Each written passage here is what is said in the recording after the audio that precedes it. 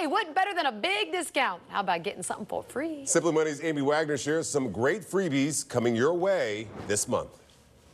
Summer is winding down, at least for your kids, but you still have time to squeeze in some fun, and these freebies will help you do it for much less.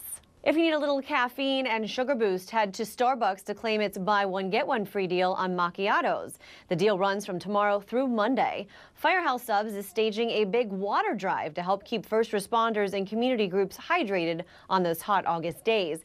Help them out by bringing in a 24 pack of bottled water this Saturday the 5th, and Firehouse will give you a free sub. Olive Garden is running a tasty deal right now. Order one entree and they'll give you another one to take home.